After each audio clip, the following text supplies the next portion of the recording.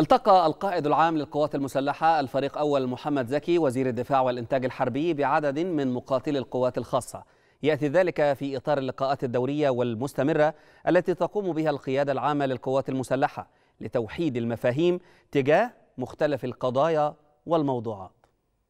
التقى الفريق أول محمد زكي القائد العام للقوات المسلحة وزير الدفاع والإنتاج الحربي.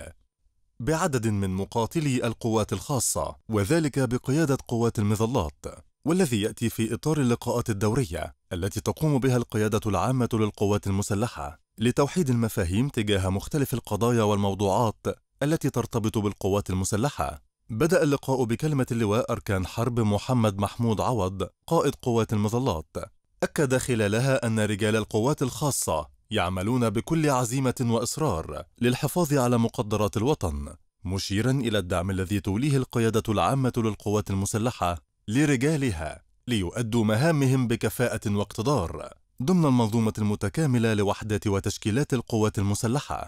وألقى الفريق أول محمد زكي كلمة نقل خلالها تحيات وتقدير السيد الرئيس عبد الفتاح السيسي رئيس الجمهورية القائد الأعلى للقوات المسلحة لرجال القوات الخاصة. مشيرا إلى أن مقاتلي القوات الخاصة يتميزون بأساليبهم الاحترافية خلال تنفيذهم مهامهم المكلفين بها بما يتناسب مع طبيعة عملهم في حماية الوطن وصون مقدساته مثنيا على دورهم البطولي وتضحياتهم بالغالي والنفيس للحفاظ على أمن الوطن.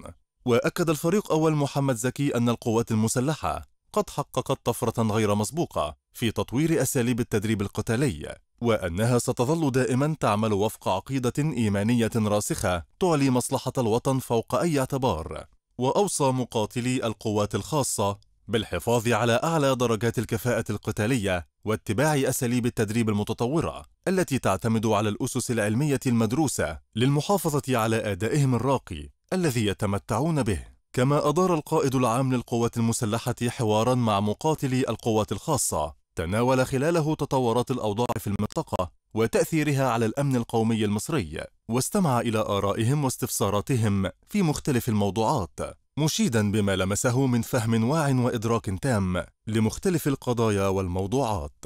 حضر اللقاء عدد من قادة القوات المسلحة.